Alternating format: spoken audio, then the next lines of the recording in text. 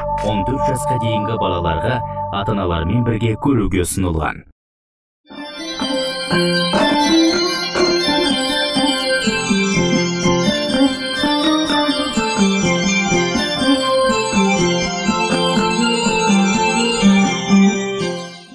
Ассалаумағалейкум ардақты қазақ елі. Армысыздар қадірменді көрермен. Эфирде емен жарқын бағдарламасы. Студиямыздың бүгінгі мәртебелі қонағы белгілі журналист публицист сапарбай парманқұлов. Ә, сапарбай аға арнамызға қош келдіңіз. Рахмет. Ә, сапарбай аға ә, біздің студиямызға қазір келе жатқанда қандай ойда болдыңыз? Мен анау келе жатқанда ойла, ойлағаным жаңағы алғаш жұмысқа тұр, тұрғанымды ойлап келе жатырмын да.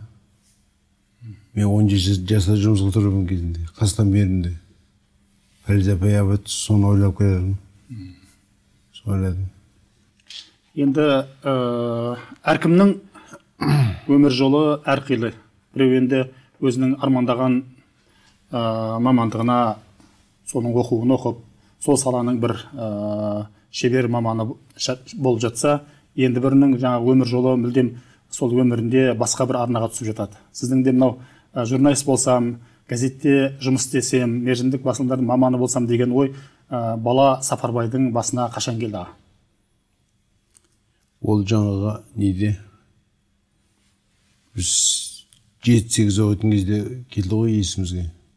Ойымызға келді сосын жаңағы неге біз сол кезде не көшіп кеттік неге? Қаратауға көшіп келдік та үйіміз. Семей жағдайымен байланысты. Сол кезден ба- бастап сол қаратауды зерттесем деген ой тұрды да.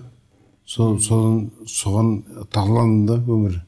Сондай ой болды тек қана қаратаудың бойында тұнып жатқан ә, тарих дейміз ба енді? Иә. ә, тылсым дүниеге деген өзің бала, бала балалық бір әуестікпен әуестіктерден бастау алған дүние дейсіз ғой енді? Сондай иә.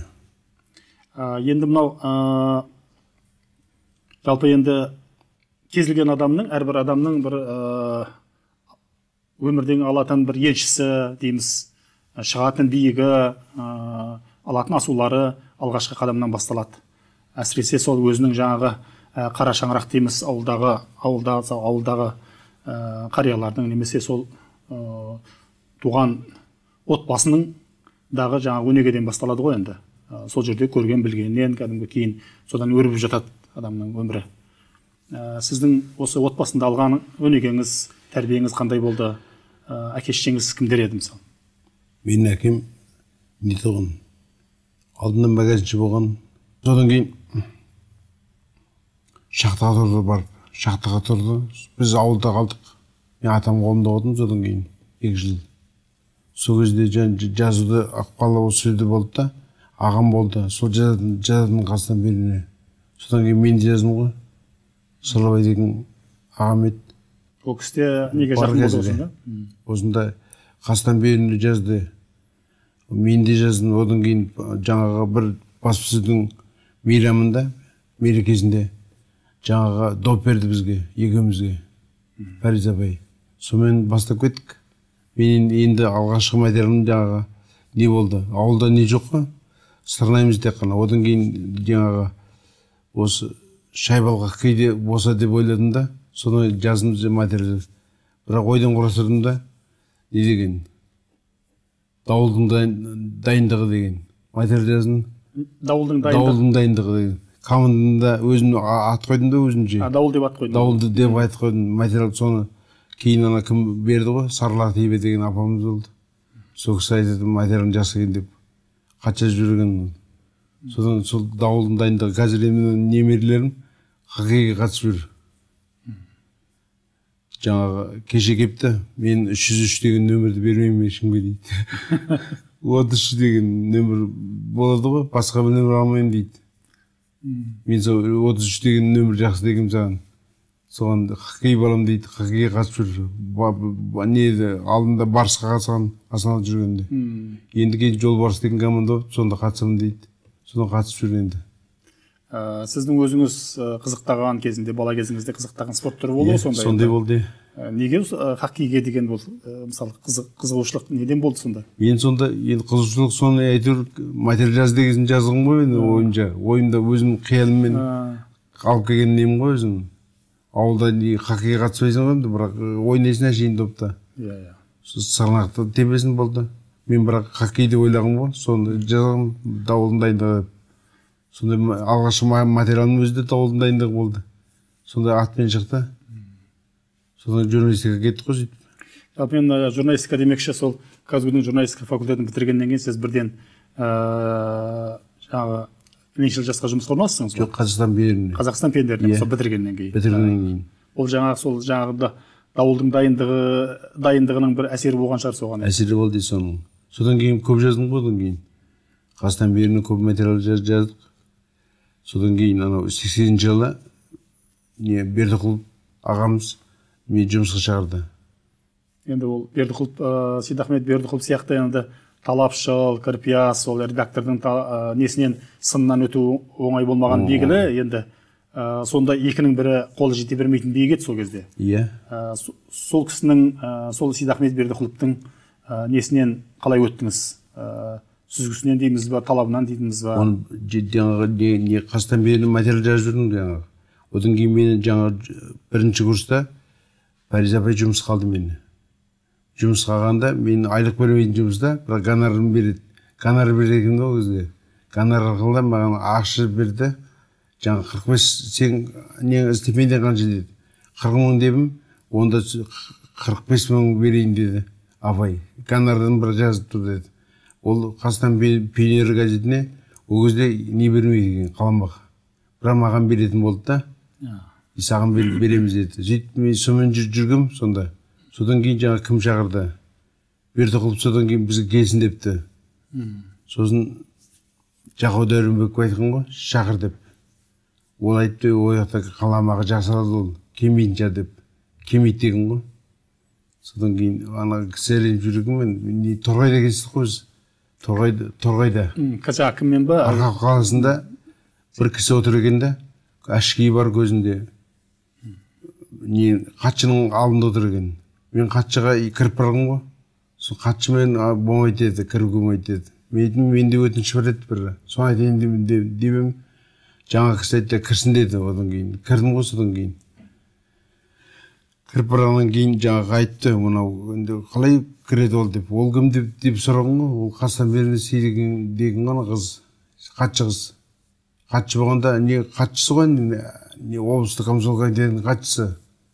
Соны айтқан ғой. Ол болмайды деп айттым деп деген деген ғой онда. Онда шақыр деген ғой шақыр деген сен осы жұмысқа келесің бе бізге деді ғой. Маған сен бар, барсаң барғаннан кейін маған кел деді одан кейін. Сөйтіп ол кісі бірден жақсы көрді де мені шақырып алды ғой. Сейдахмет ағаны Иә. айтасыз ғой. Менің о неге хатшыға айтайын деген жаңағы музей жұмыс істемей тұр деген. Ленин музейі ғой сонда сол кезде торғайда. Соны неге істемей тұр деп айтайын деп тұрмын ғой жаңағы хатшыға. Соны айтайын деген бізде анау анау мынау адам кіре алмайды хатшыға ол кезде. Дейді. Сен кіріп бардың ғой дейді ана хатшыға. Сол, сол мінезің ұнады маған дейді. Ұнады да соны жұмысқа шақырғанмын дейді. Журналистке керек қасиеттердің Иә. бірі дейсіз ғой енді сол жаңағы батылдық ә, батылдық болды иә сол кезде. Соны бердіқұлов айтады бұл, бұл сонда қалай болды дейді. Де- деп жаңағы өзі материал жазуға барған ғой. Не торғайға барған ол кезде. Мен де торғайға барғанмын ғой. Соны торғайда не істеп жүрдім деп. Одан кейін айттым мына жерде не бар еді бізде? Амангелдінің несін несінде амангелді батырдың несін іздеп жүргем дедім. Музейлерін. Содан кейін басқа бір музейге барып жабық тұр екен ол дедім. Соны айтайын дегенмін ғой мәс- мәселе көтеріп. Сонымен сол кезде неге алдым мен жерден кейін. Жаса жасасқа бардым бірден сол кездегі лениншіл жас дейсіз ғой иә. Ленин жасқа. Мысалы енді ә, журналистердің арасында ә, бір секретариатқа барсаң қарайып қаласың деген пікір болды ғой сол кезде. Иә. Ә, дегенмен енді сол кезде секретариатта істеген ә, журналистердің арасында арасынан кейін енді бір қазақ көсемсөз жа- жанрында бір ерекше жарқылдап көрінген ә, со- азаматтар шықты мысалы. Ә, жаңағы ә, мысалы жаңағы жарылғап бейсенбай ерғали сағат мына жерде енді қуаныш жиенбай қасым әзімхан ертай айғалиев деген әнуар тарақ деген сияқты енді Иә. оны айта берсең кете береді. Ә, сізде сол секретарь жүр, секретарьда жүрсеңіз де ә, сол секретариаттың отымен кіріп күлімен шықсаңыз да ә, жазудан қол үзбедіңіз. Ә, жалпы ә, осы жаңағы сол кездегі лениншіл жаста қалыптасқан мұндай ахуалдың сыры неде деп ойлайсыз сол кезде? Секретарьға салып адамды кішкене ниет- ниетін кетіріп алатын. Жаңағы ебін ке- кетір, кетіру үшін соны алатын әдейі жұмысқа. Сол кезде сондай бір дәстүр болды. Бердіқұловта сондай дә- дәстүр бар еді. Біз соған кіргізіп жіберді бізді. Бір бізге жақсы болды бірақ мен де өзі өзі суретшілік жас кезімде болған сурет салатын. Соның әсері жақсы болды да сурет саласың да бір жағынан. Одан кейін мақала жазасың соны екеуі қабысып тұрды да бірімен бірі сөйтіп біз өте бір не, не болды жаңағы үйренуге ықпалға ықпал ете бастады да үйренуге сөйтіп кірдік қой. Енді бірақ енді сол ә, секретариаттан енді барынша секретариатқа жақындамауға тырысатын жігіттер де болды сол кезде енді. Иә ондай болды иә мысалы ә, соны енді бір жаңа өткенде қуаныш ағамыз айтып еді жұрттың бәрі қайтып бара жатқан кезде сені енді сенің жұмысың енді қызып жатады деп. Бірақ енді әрине сол секретарь істеген жігіттердің ішінде кейін өкінген ешқайсысы жоқ деп ойлаймыз енді. Өйткені сіздің де мысалы кейін дала мен қаланы басқарған кезде ә, сол тәжірибеңіз жиған жинаған тәжірибелеріңіз жаңағы секретариатта істеген ә, сондай үлкен ортаны көрген ә, неңіз өміріңіз үлкен өзінің көр ә, көмегін тигізді деп ойлаймыз сіз қалай ойлайсыз иә оны бізді макет апарасың ғой күн сайын макет апарған кезде бердіқұлов айтатын мынау макетің жақсы дейді да жаңағы сол қолмен жазады ғой сол кезде соны қарап отырады да айтатын бізге мынау кімді не макетін көрсең қайырбектің макетін көрсең әдемі екен деп қаласың дейді ертең газетке өйтіп шығып қайтып барады дейді а сендер че мынау мынауың әдемі екен дейді содан кейін жаңағы теріс қаратып береді мен. Кейбірде әдейі былай соңғы беттің шапка дейді ғой астына подвал дейді. Соны подвалдың астына тастайтын макетті сол кезде бұл не дейді соны оның подвалда көрсін де үстін оқи бергеннен астында оқысын деп қойма мынауың әдемі ой екен дейді. Сөйтіп одан кейін не дедім? Қызығушылығымды не дедім біздің? Сондай болды бізде. Сапарбай аға сіз соны ә, сол лениншіл жаста сіз ақшам деген бір сенбілік бетті жүргіздіңіз ғой иә. Ә, сол ақшам кейінгі ақшамдардың бір ә, бастау болды деген пікір, иә. иә, пікір болды деп жатады сіздің өзіңіз сол ә, кейінгі ақшамдардың шығуына соларға бір атсалысқаныңыз туралы бір әңгімені оқып едік.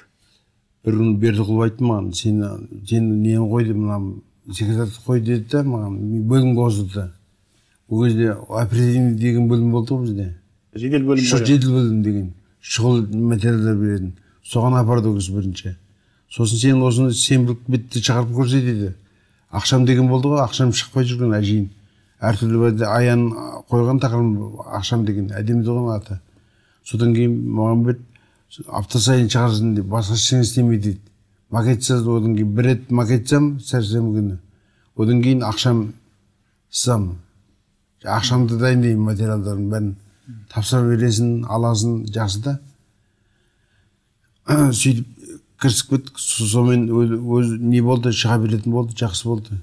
Іздейтін болды ана ақшамға беріңдерші материалды ақшамға берші деп жалынатын болды жұрт сосын жалын біз, біз сол кезде беретін болдық ақшамға.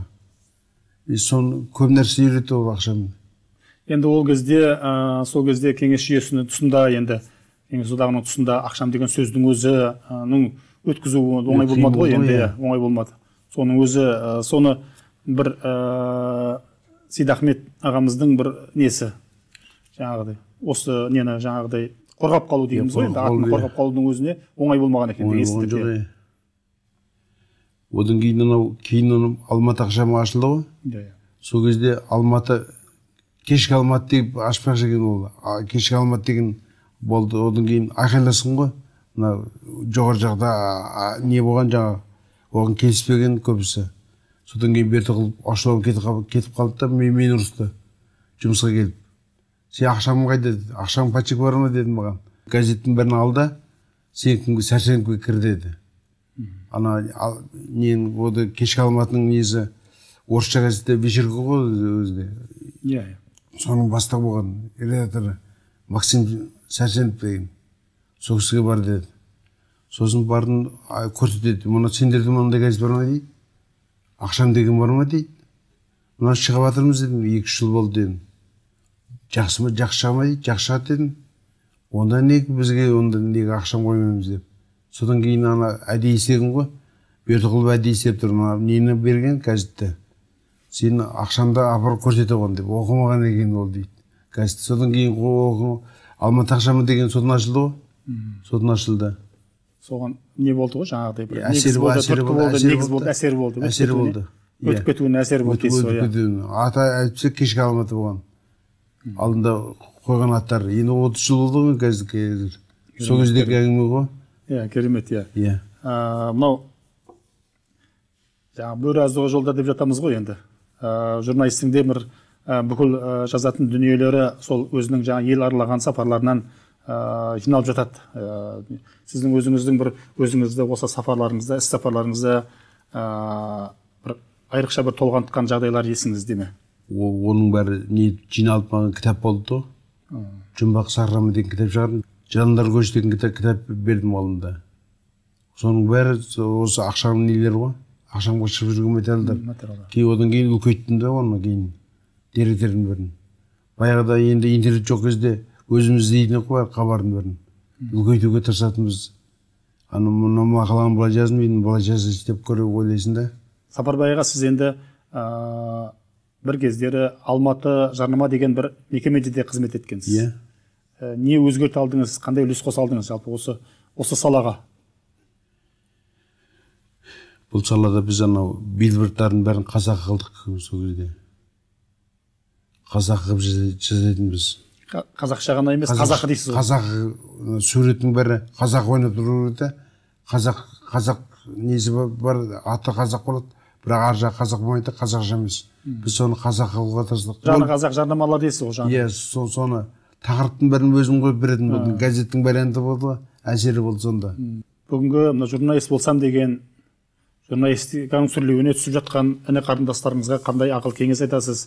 Ә, өзіңіздің өмірден жинаған тәжірибеңіз жалпы бүгінгі жастарға қажет деп ойлайсыз ба? Қажет болу керек енді. Қажет нәрсені айтуымыз керек те айтқанда соны не деп айтамыз енді? Қазір енді бірақ ана не де ба- бар ғой жаңағы. Интернетіңізде бар барлық не- ненің бәрі бар. Бірақ өзі де іздеу керек та өзі пайым болу керек кішкене. Енді қазір бір не болды ғой енді біз ә, осы аға буын өкілдерімен әңгімелескен кезде ә, көбінесе осы кешегі буын мен кешегі журналистика мен әсіресе бүгінгі журналистиканың ә, бір бірінен салыстырып жатамыз. Ә, соның жаңағы ә, артықшылығымен бір бірінен артықшылығы мен кемшілігін кәдімгі саралап жатамыз. Ә, осы тұрғыда сіздің өзіңіздің ә, ойыңыз қандай? Ә, мысалы енді ә, кешегі мына қазақ журналистикасының қазақ журналистикасының жаңағы қазақ баспасөзінің жүгін бір адамдай ақ көтерген сізді мысалы сапарбай парманқұловты бүгін енді газет оқырмандарынан басқа көпшілік тани бермейді ғой енді. Ол жаңағы әлеуметтік желі дейміз инстаграм дейміз соларға деген неңіз қалай мына? Қарым қатынасыңыз қандай?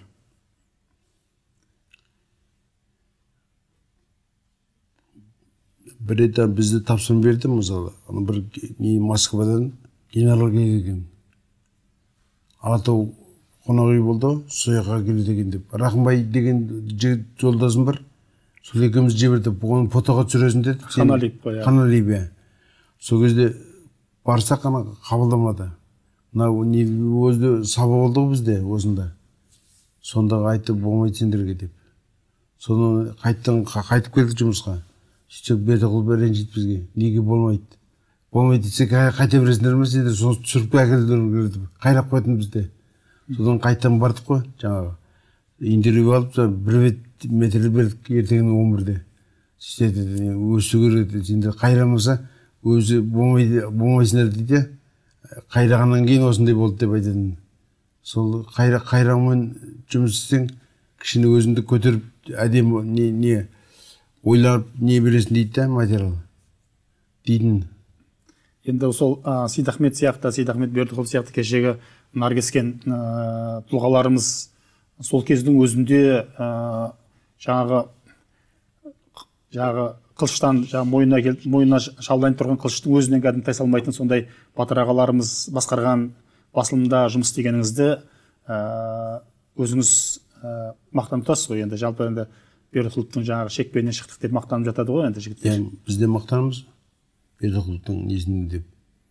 Өйткені ол жерде мына жұмабай деген кісі бар ғой шаштайұлы шаштайұлы иә. Сол қызғана деген осы күнге дейін қызғанамын дейді. А, сендер со- сонда бердіқұлов сендерді жақсы көргені мен бердіқұловтың інісімін дейді өзі. Бірақ сендерді жақсы көргеннен мен қызғанатынмын дейді да бізді қызғанады екен да деп деп айтады одан кейін. Мен ойлаймын шынында үлкен нәрсе бұл жақсы жерде істегеніміз екенбіз ғой деп ойлаймын да. Соған өзім мақтаныш тұтамын өзімді.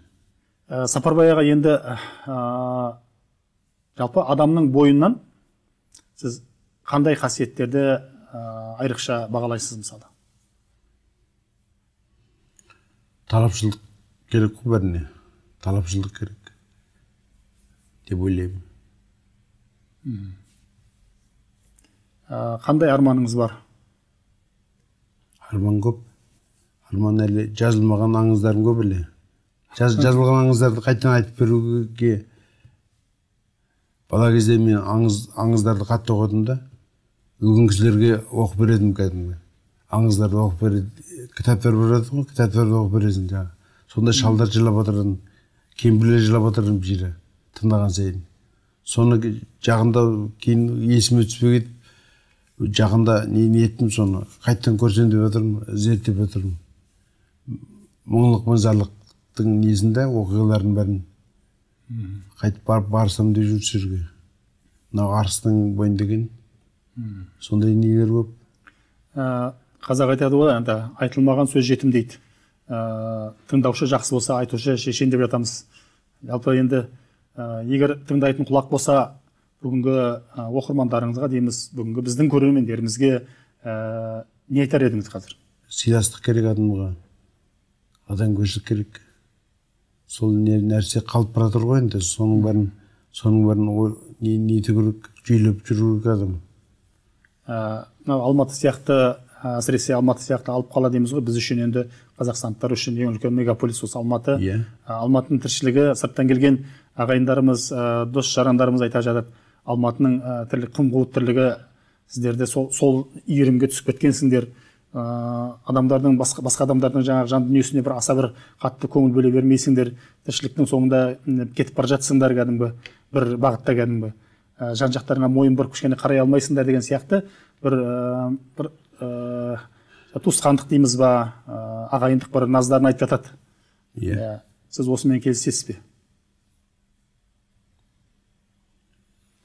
Өтіп мен астанада болдым да жаңағы он жеті жасымда келдім он жеті жасымда содан кейін жұмыс істеп жүрдім да газет жауып тастады одан кейін кеттік қой неге егеменге бардым егемен Егемен- егеменге барып үш жылдай жұмыс істеп келдім соның өзінде осы алматыдан сирап қасында баяғы нелердің бәрін дәстүрдің бәрін қабылдамаған жылдам қала болып кеткен бұрынғыдай емес содан кейін үйренбейсің де өзің қайтадан тұру керек менің өзіме де қабылдамағандай болды қайтадан үш жылда жүргенде үш жылдың өзіне жатырқап қалады екенсің да сол кезде үш жылдан кейін енді енді үйреніп жатырмын қайтадан. Алматыға келіп. Алматының ырғағына ілесу ілесемей қалғанмын ғой. Бұл енді өзі қаланың ішінде жүрген кезде ағайынға енді байқала бермеуі мүмкін. Сырт көз сырт көз енді сыншы ғой енді. Иә. Иә, сырттан келген ағайындардың сол несі мүмкін шынымен де дұрыс шығар деп ойлаймыз енді. Журналист болмасаңыз кім болар едіңіз? Мен облыста журналист болмасам кенші болып кенші болсам деп ойлайтынмын. Геолог болуды армандадым да кезінде. Геолог болуда өзі екі үш арман болды менде. Ә, шофер, болу сосын жаңағы не шахтер болу. Геолог болу да енді шахтер Иә, иә. болғанда. Сол екеуін армандадым да. Бұл шофер болуды қалай армандады дейді. Бұлай айдауға бола береді ғой машина. Деп әлі әлі машина айдай алмаймын мысалы. Сол ар- сол арман әлі жеткен жоқпын. Аңсар аңсап қоямын ар- арасында. Сосын геологты армандадым кезінде боламын деп. Одан кейін ә, геолог болмағаннан кейін енді тастарды зерттеп қоямын да қазір арасында. Зерттеп материал жазуға тырысамын да арасында тас туралы жазып қоямын.